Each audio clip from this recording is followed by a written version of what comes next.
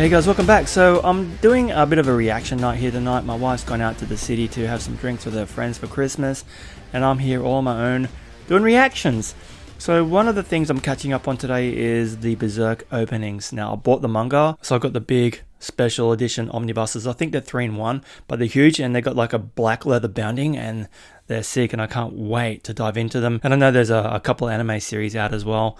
Um, the ones I'm checking out now, the openings, are the ones I think are good, and it was a couple that weren't so good. But for the moment, I think I'm just going to stick with the manga.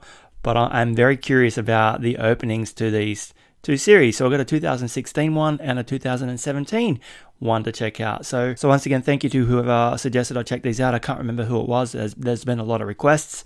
But um, let's dive in and have a look, yeah? Are you ready? Three, two, one, go. Is the fairy Puck? I know the guy's name is Guts, but I have no real context to who is who is who yet.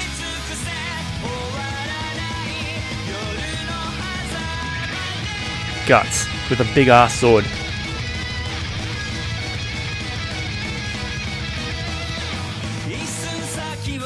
So the anime follows just like a certain arc from the manga.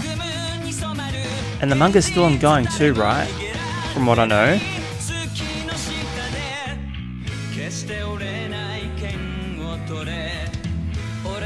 And I'm hoping this is going to spoil too much for me. It's fairly abstract at the moment.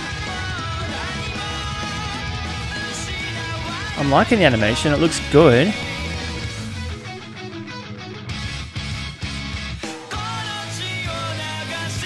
There's a bit of blood. Slaying demons and monsters and people.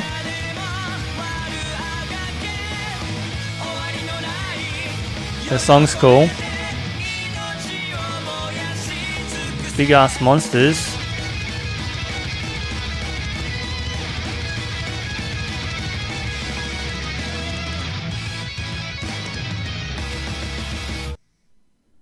Cool.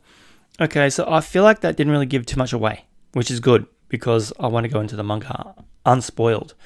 But what can you tell me about the the anime and what do you think I should watch if I decide to get into it? Like the 2016 opening there and the 2017 one I'm about to check out is from the same series, right? It's just season 1 and season 2. Let me know in the comments because I have no clue. I like the music. It had a bit of a like a heavy metal thread to it and the animation looked decent, but what I've seen of the the manga so far, and I've taken a sneak peek inside the book, is incredible. Like the artwork is just like, oh. so I don't think that translates to the anime so much. I think from what I've seen so far of it. Okay, so let's check out the 2017 opening for Berserk. All right, ready? Three, two, one, go. Proclaimed Omens. Once again, I don't think I'm going to pick up on any spoilers. Puck. Yeah. From the William Shakespeare Midsummer Night's Dream.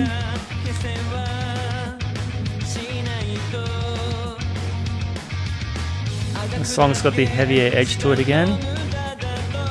People I don't know. Puck. No, not Puck, I mean Guts with his big sword. So we've got fairies and little witches. This looks like a Final Fantasy game.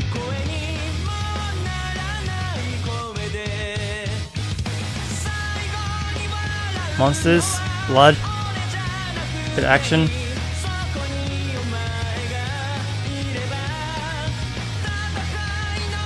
Thought she was dancing. She's running. Or is she dancing?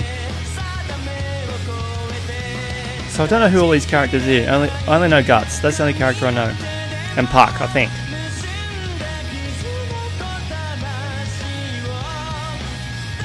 How long has Berserk been around for?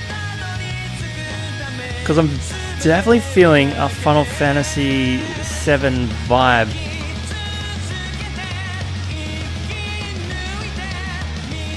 Like was inspired some way in the character designs. Cool. Makes me curious about watching the show though. a lot of requests to um to actually do that, but I think I want to read the manga first.